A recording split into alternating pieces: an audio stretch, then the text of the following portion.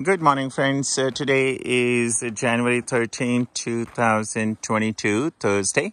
I'm at the base of uh, Mount Yamnuska, and today is my training day for Everest. I'll ask Laurie to share the plan for the day. So, good morning, Laurie. Morning. How are you? I'm good.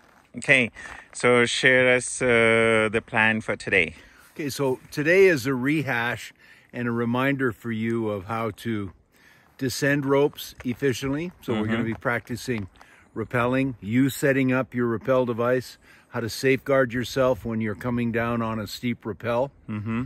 Secondly, reminding and refreshing you on the ascending techniques mm. using the Petzl ascenders clipped onto fixed rope, how to move safely on fixed rope, mm. how to bypass anchors so that you're always connected, so you're never in a place where you're not connected to the rope, and just to refresh the skill sets that you developed last winter, but it's been a while. Yeah. So it's uh, it's a reminder day Okay. to bring back those skill sets to the surface. And if we have enough time, uh, we'll drive to Banff and get on some ice. Okay. If there's enough time, we'll see how long it takes us to do all this initial stuff on the cliff fans at the base of Yamnuska. Okay. Well, good. Thank you so much, Laurie. You're welcome. And uh, we'll connect later. Thank you. This is a beautiful weather. It's plus 10. So it's a good change in the cold weather that we have had so far. So thank you, friends, for your blessings and wishes.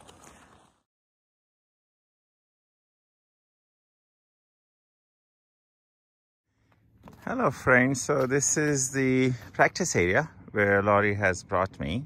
I can show you where what we are gonna do.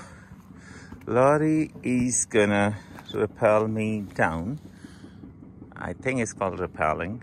Anyway, all we need to do is do this wall, go down all the way to the bottom.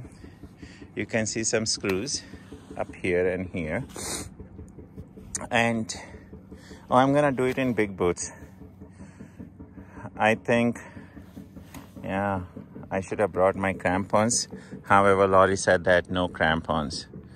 So I'm sure he would have a good plan in mind. Look at this nature's beauty. Weather could not be better. I think it's better than summer times, winter times. It's just so perfect. And this is Laurie coming after exploring some sections. This is the beautiful Mount Yamnuska, the source of energy and power for Laurie and many people, including me. Oh, this is the yellow one is my brand new rope, which may get used today. We'll see. Thank you, friends. Hello, friends. We just finished with our break one, and Laurie is tying the rope. Uh, of course, there would be technical references to whatever he's doing. In my case, I know nothing, so I'll just. And what his intention is that I'll be using one rope, and then I'll be tied to another rope uh, as a backup.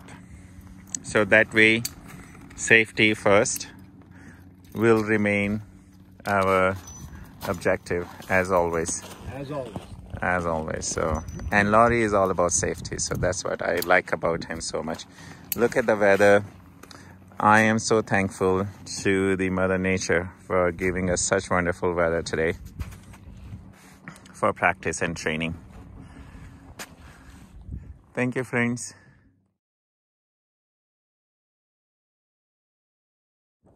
Hi friends, uh, Laurie is just going to show me how to use ascenders uh, while coming up.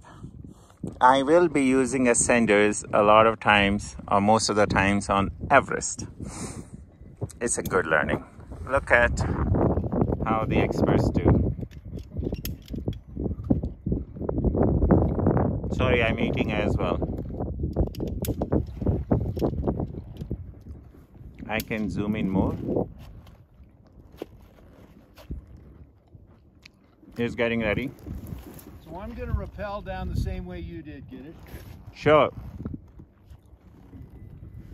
I don't know if you guys heard. He says that he's gonna rappel down the same way, I mean, same route I took.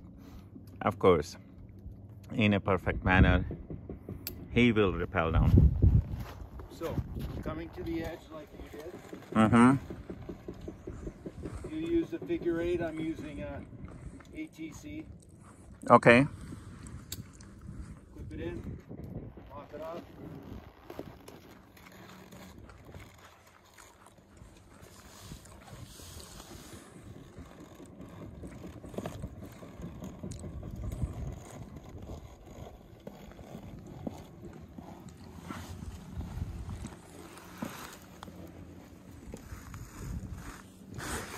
Oops. I lost him. I'll move over so you can see me get him.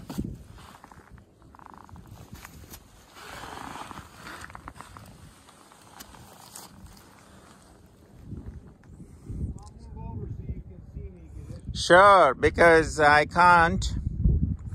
Laurie has tied me, if you guys want to see. Right here. Look, I'm tied through this rope to this tree. So I can't move.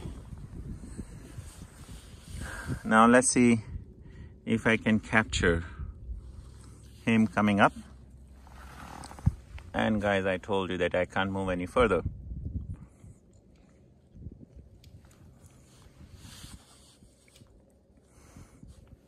Also, the length of the video will show that how easy it is to go down this 30 foot wall for Laurie. I think it took maybe 15 seconds, which took me forever. Now, he's still tying himself with the ascender. Oh, I can see him.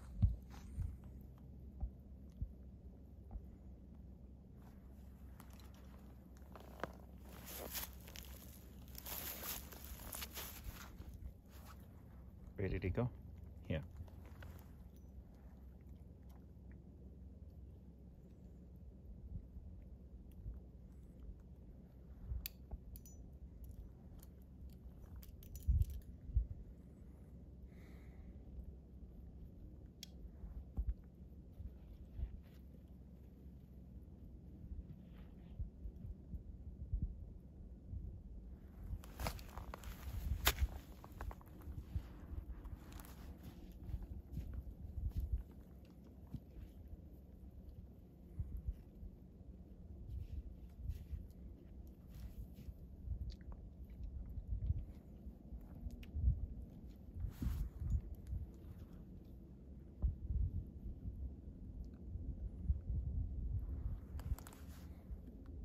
He's tying the other ascender to his left foot.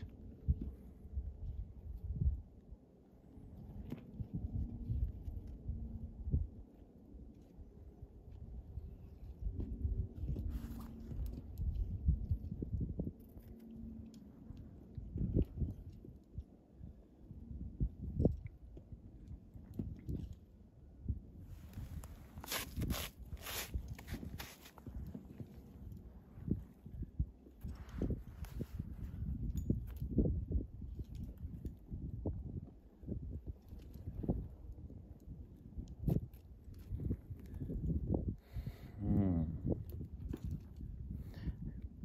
Friends, just so you know, it takes so much of our body muscles. Of course, lower body and the core. Yes. Sitting back with this, Yeah. standing with this, Yes. I'm secure. Okay. What's Now your right start- foot? Now I'm going to start climbing. Hands on both. Okay. Slide it up. Yeah. Lean forward. Sit back and relax. Okay. Slide it up. Lean forward. Slide it up. Relax. Uh, Laurie, what does your right foot do most of the times? Uh, does it hold any of the body balance or it's just I can step on a little edge if I want, just like I would kick my front points in. okay? So watch, toes there, hands here. Okay. Lean back, slide that up, stand up, relax. Hmm. No struggling, no hanging on with your hands. Lean back. Lift it up. Stand up. Slide it. Relax. No effort. Don't waste your energy. You got a hundred people behind you waiting for you to get off the fixed rope. You got to know how to move on it quickly. Okay. Not quickly, efficiently. So let's Efficient. look at the sequence. Hands on both. Hands on both. Toe. Toe Up. up with left Straight. foot. Lean back. Up. Up. Straight. Lean back. Hmm. Up. Straight. Lean back. Up. Straight. Lean back. You know, I got an overhang. It's a Yes. little tricky. So I'll stand as best I can. Slide that up. Slide it up.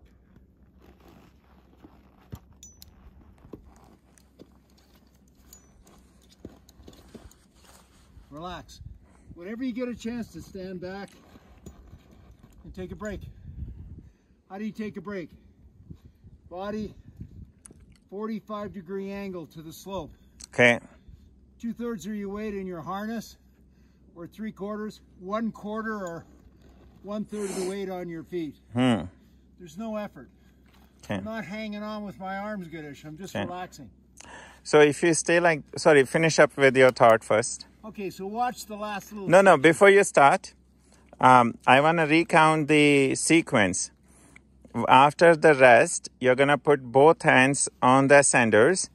Then which foot goes up, right or left? The ascender that's attached to your foot is going to go up. Okay. Then you're going to pull in, Yeah, pull in. up straight, slide that up. Okay. This could be four inches longer for me. Okay. It's a little short.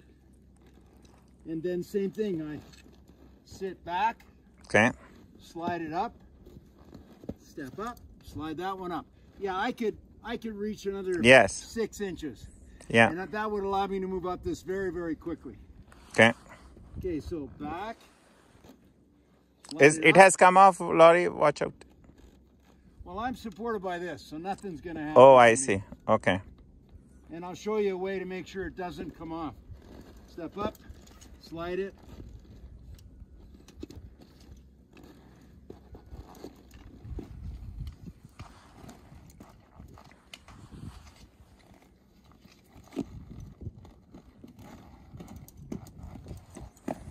Hey, hey. Now your turn. Not what? I was gonna say good job, but it's not a good job. It's a perfect job. That's how I should classify this. No, Thank you so much, Laurie. Because I didn't have the adjustment length. I know, but still, you did such a good job. Thank you. Now, Soft. Laurie is such a good guy. You know, he ties me like uh, one would tie his bat, so I don't move around. Look, I'm tied. I can't move without him releasing me. Thank you so much, Laurie. You're welcome. It was a good learning. I'll try the way you taught me. I'll let you step up there. Sure. Bye. Hello, friends. So Laurie is gonna rappel down this wall, which is about 30 feet to 50 feet. I wish I could tell you the exact length of the wall, but you will see it. Okay, I'm just gonna ah wait. You see Laurie. I really like Laurie doing all these stunts. Sorry, not stunts. Mountaineering activities. Look, maybe 10 seconds for. Look, look, look, look. As if he's walking on the wall, not already here. Good job, Laurie. Now I'll just ascend it. Now, Laurie is gonna ascend the same wall so I can see him from down below here Okay, so first, first. your upper ascender. Upper ascender, We which I was using. That's just going to clip in with a biner. Okay.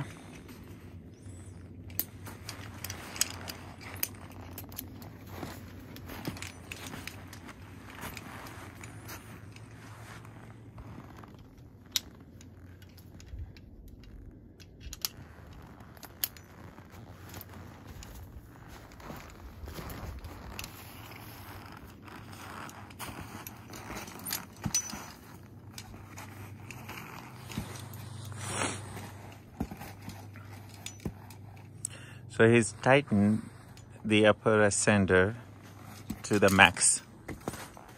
That's what I see. Yeah. Now your foot ascender. Okay, once you tighten your upper ascender, then you do your foot ascender. Okay, guys. Well, we decided we'd have a carabiner through here. Yeah. Lock it. Lock it.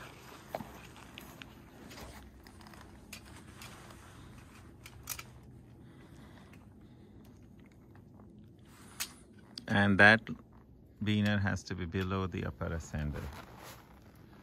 Now I sit back, Sit back. get my foot in. Just so you guys know, I- you know, if your life is not don't complicated. remember. I think we wanted, I'm just going to attach it the same way you do. I Yeah, think. yeah. The knot is inside. Okay, so come over here Okay. so you can see from the side. Okay. All right. Four minutes after. Yeah, 2.15 in my video. Your time starts now. So the point is, whatever time Laurie takes, I'm gonna take 10 times of his time and still I'll be fine. That's the deal Laurie and I had. So wish Laurie that he takes as much time as he needs or wants. Laurie, you can roam around. As I push the upper one, I sit back and relax. Okay.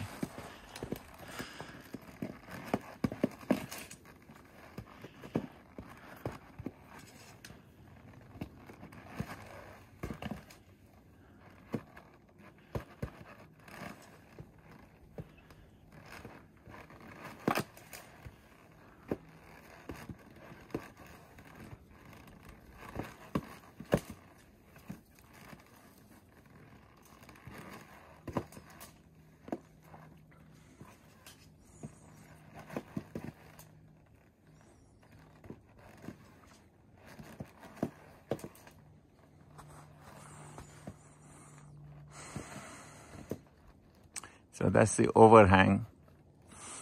My famous overhang.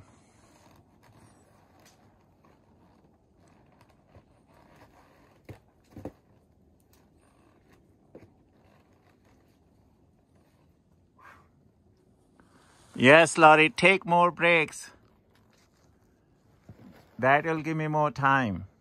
I think I'm gonna win this bet.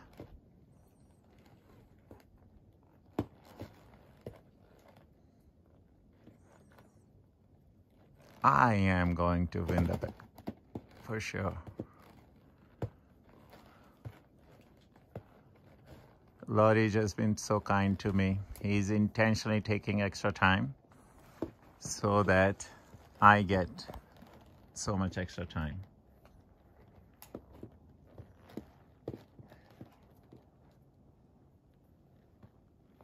Yeah. Congratulations, Laurie. Two and a half minutes. Get it. Oh, Yeah, hello, friends. Yeah, I just wanted to capture the bright moon up there. Uh, we just finished our day for the, the training for Everest. I'm gonna ask uh, Laurie, how was my day? Uh, how are you, Laurie? I'm fine. Okay, how was the day today? Well, Your I think assessment. it was quite productive because we focused on two things really: rappelling Mm-hmm. and moving on fixed rope on steep terrain. Hmm. And I know you've got how to move on moderate terrain pretty locked down, but we'll test when we go on a waterfall. We'll see if you remember. But I think that's really solid. But you showed real improvement on your rappels today. You were able to go off a steep edge like this, which most people have a big problem with. You, you never hesitated once. So your rappels are rock solid. You learned how to lock yourself off on a rappel Yes. and do without any hands and then do things that you need to do. Uh, and then s- grab the rope and then start the rappel again all safely. And the big challenge was figuring out how to move up steep terrain on a set Yes. of Petzl ascenders. Yes. And we started off slow, but we spent the whole day doing that. And every time you would do that, you'd have to rappel down the cliff Yes. that we're standing at the top of. And by the end of the day, you were able to come up this 60 foot cliff in seven minutes. You Wow. started at 11 or 12, I think it was, the Mm-hmm. first time. And, uh, and now you knocked it down to seven minutes. So it's not a race to see how quickly you can do it. It's how well do you understand the system that you can do it in an efficient time and a Mm-hmm. good efficient time is four to five minutes for Mm. 60 feet and uh, without burning your arms out Yes. and there's a subtle technique to it which you're getting because i saw you do a number of moves each of the times you came up where it was no effort Hmm. you stood up you moved your upper ascender up it locked you you sat back and rested it took place in a matter of one or two seconds you had it the trick now is doing it consistently and not leaning back and having all the Mm-hmm. weight on your arms for any more than a split second so I'd say today was a productive day because these are techniques you're going to need to know when you're on Everest. Okay. And every minute we spend reinforcing these good habits, the safer you'll be on the mountain. Well, I am very happy with the day, of course, and I like to have the next training session letting me repeat what we did today. Because we got so something harder to do when we advance off the straight cliff and then you do a series This series is of the harder side. Okay, guys. Uh, So thank you again, Laurie, one more time. Pleasure. And the moon is back. so there. Beautiful. Thank you, friends, for your wishes and blessings. And we'll see you again. Bye.